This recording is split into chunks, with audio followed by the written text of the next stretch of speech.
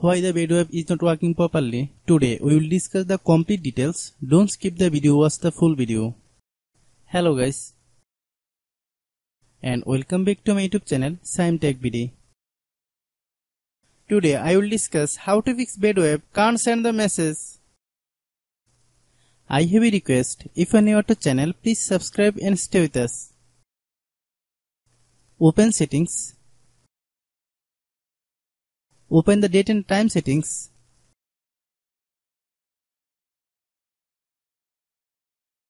Tap Set Time automatically to reset time to whatever location you are currently at. Click Back. Click About Device. Click Storage. Then click Clean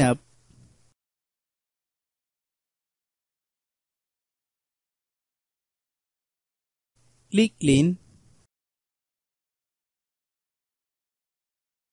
Click Back. Click Apps. Click App Management. Find Badoo. Click Badoo. Click Storage Use. Click Clear Cache.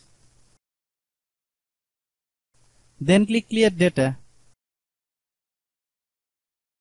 If you clear data, you will need to relog into your account. Then click Delete. Then open Google Play Store.